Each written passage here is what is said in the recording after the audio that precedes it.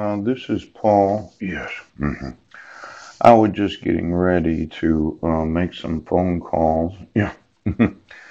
and uh, I had tried to call St. Vincent de Paul's. It seems that the landlord didn't get the actual um, rental help that I thought that she was going to get. And I understand that there's been uh, a power outage, but I thought I'd call St. Vincent's again to see if they actually sent it uh, approximately a week or so ago. Yeah since I know that we both did speak to the actual charity itself, yes.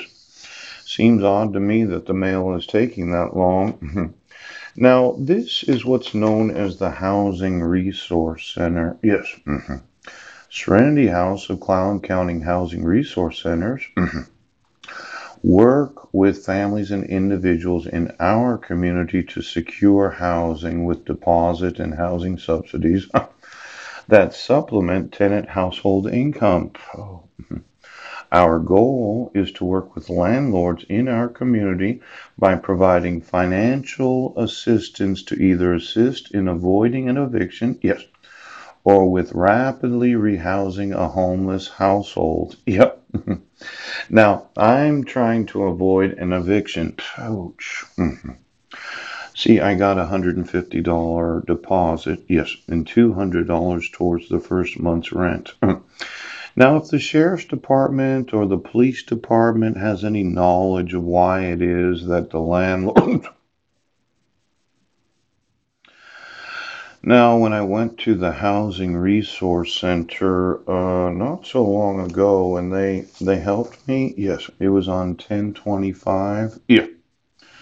It's now uh, two months later. It's going to be Christmas next Tuesday. Pooch. I really felt the frustration that at that time the Housing Resource Center of Port Angeles, yes, mm-hmm, mm-hmm, uh, said, well, we just can't help you unless, of course, you uh, get evicted. Yes, have to stay at the homeless shelter. Now, is there any police officer right now? that's jerking me around because you don't really think that I need housing assistance to avoid eviction. Yes. Now it says family and individuals, and what I wanted to do was take the proof that I had paid a $150 deposit, yes, and $200 towards the first month's rent, right and then an additional maybe a hundred, maybe two hundred dollars. I think that uh, St. Vincent's might surprise me and give me twice the amount. Yes. Then I could say I paid the first month's rent because these housing subsidies are provided through uh, federal and state housing assistance programs. Yes. Yes, yes and are managed by the Serenity House. Oh, occasionally reimbursements can be delayed. Pooch. Serenity House landlord hotline. Now, this emergency bed that I've had to sleep on, yeah, because the police department right now has intentionally violated the laws of the United States. Now I'm going to attempt to contact uh, St. Vincent de Paul's. Yes.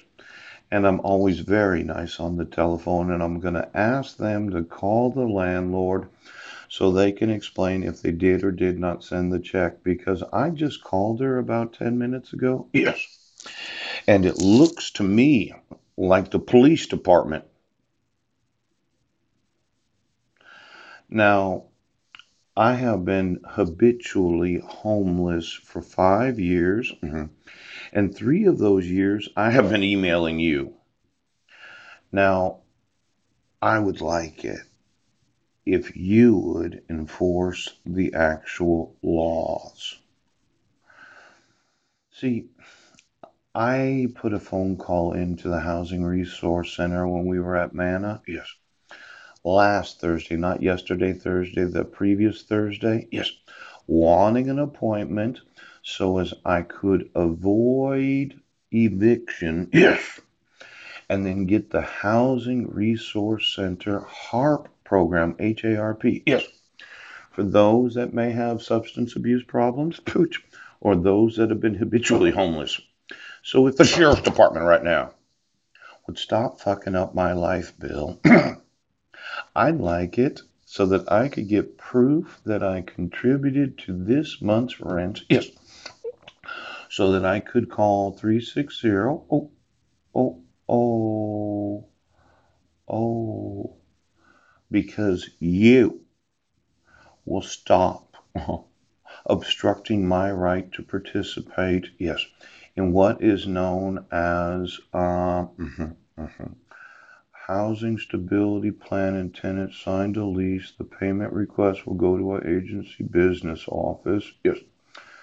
Now, these federal and state housing assistance programs, pooch, it sounds like uh, housing and urban uh, development. Ooch, HUD, yes. I noticed that when I sent emails to HUD today. Yes, you did. Do you think that the police department could stop about